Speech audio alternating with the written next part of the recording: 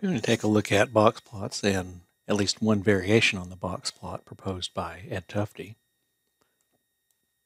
So here we have um, ggplot my data, AS, X is gender, and Y is SAT score. And we're just going to get a box plot of SAT scores by gender. You can look at that. Let's uh, put a theme on this.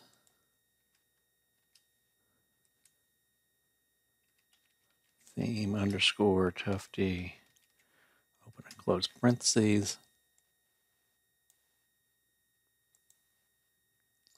And then, uh, so there we have that.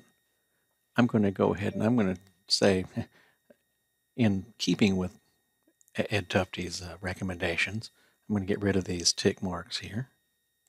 Just start getting into some of the things you can ticks equal false.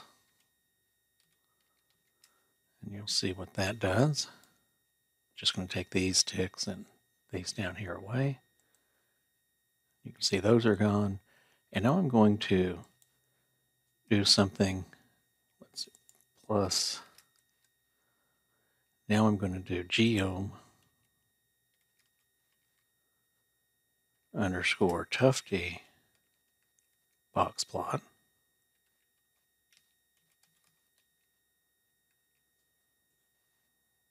Actually, I could have, well, I'm just going to take this out up here. And then I'm going to put that in open parentheses.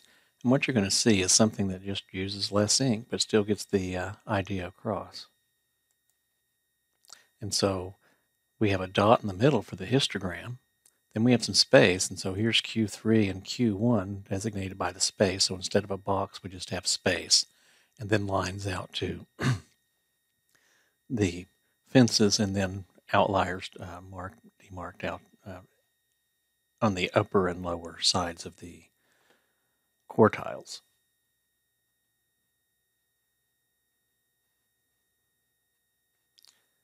I can change the uh, distance in between there. If I really need to do this on this one, but I could just to show you this. And you'll just see they went into the uh, middle there.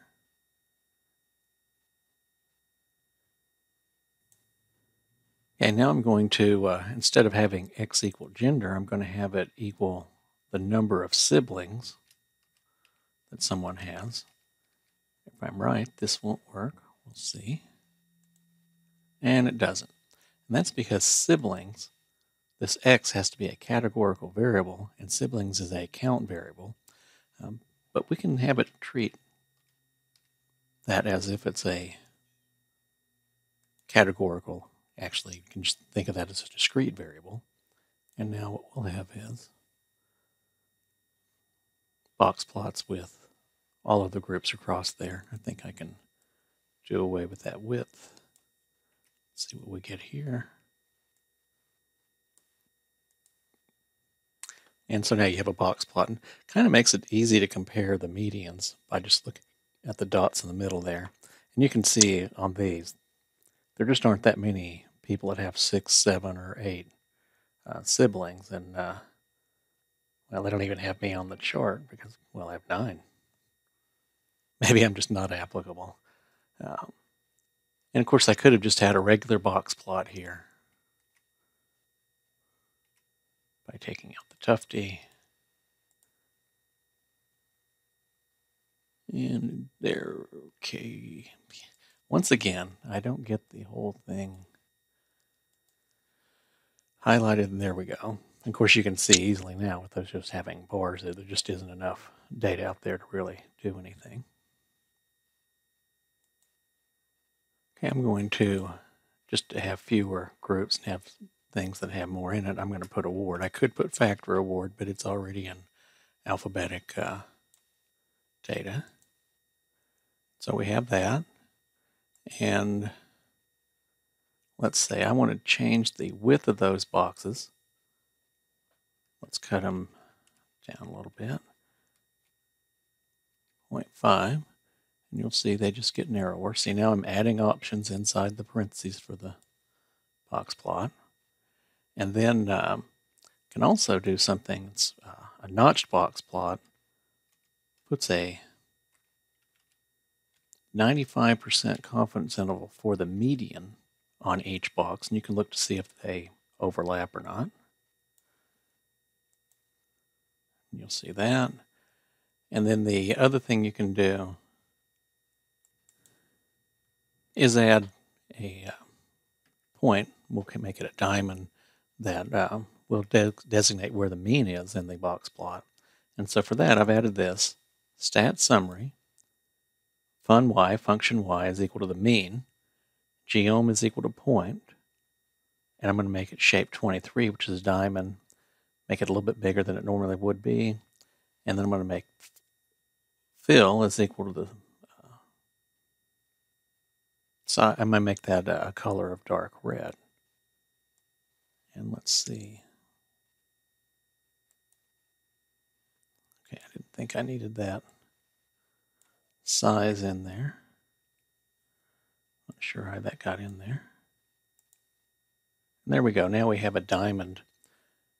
It says it's dark red. It's hard to tell here, but a dark red diamond in, in each one to designate where the mean is at.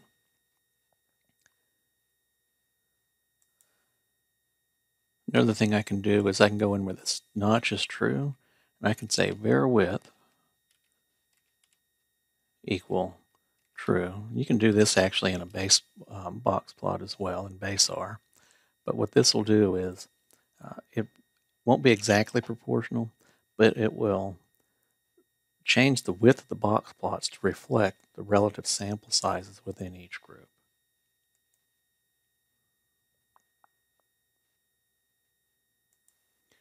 And that needs to be a comma right there.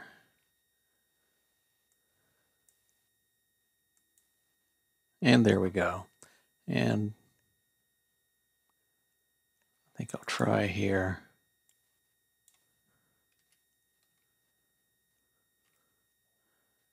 Just another theme here. So I can just get a different look of things. And there you go.